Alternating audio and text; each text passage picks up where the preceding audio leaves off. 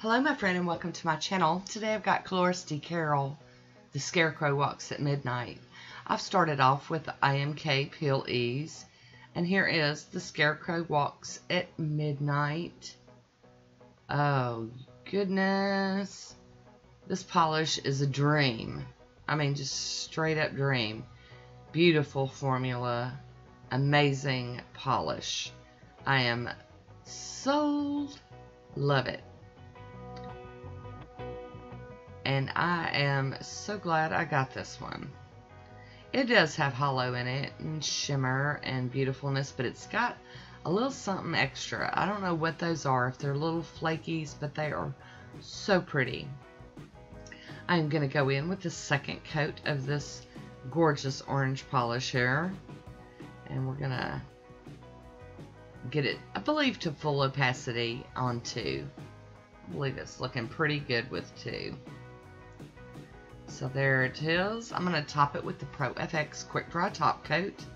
Get it to dry down. So I can do some stamping. I'm going to be double stamping today. Was what was I was in the mood for. I kept my free edge here real quick.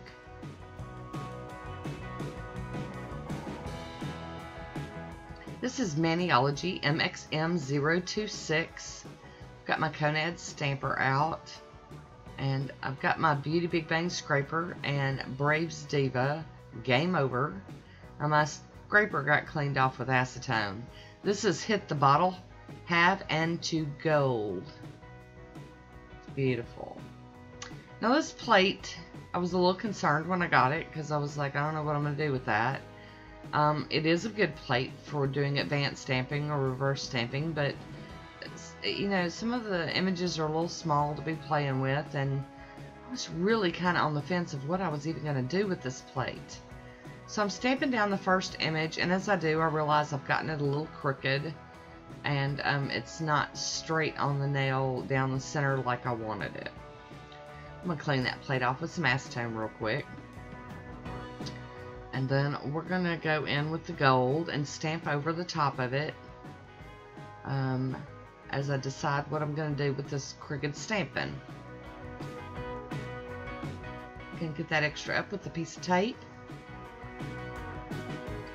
I'm going to line it up and lay it over top of the black stamping there.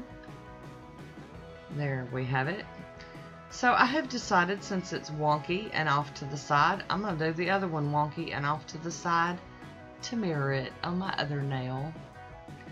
And um, when you do things like this, just tell people you meant to do it that way. They'll never know. I meant to do that. You know, just sounds good, right? Practice it with me, y'all. I meant to do that. There we go. and clean that plate off again and go in with the gold stamping. Because, you know, most people don't do nail art the way we do nail art. So, you, you can just make up all kind of goodness going on with this stuff, you know? Most people don't even know what stamping is. So there we have our two wonky nails. and I've decided to use this other little image on the other two nails. It's kind of like a triangle pattern with um, like a flower in the center of it. I decided, what the heck, let's use that thing. I don't know what it is, but I'm going to use it. And I'm going to go over into a corner of the nail and use that one. And just as with the other ones, I'm going to double stamp it in gold.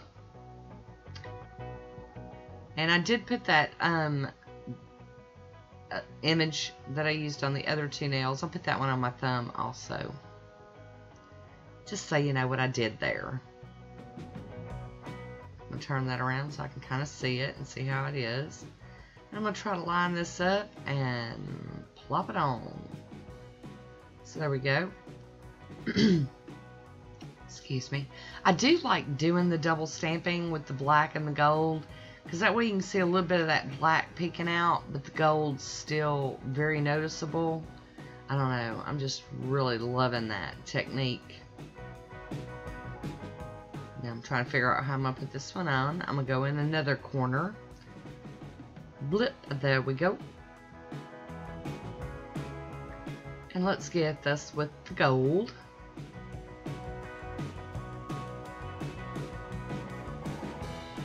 So there we go.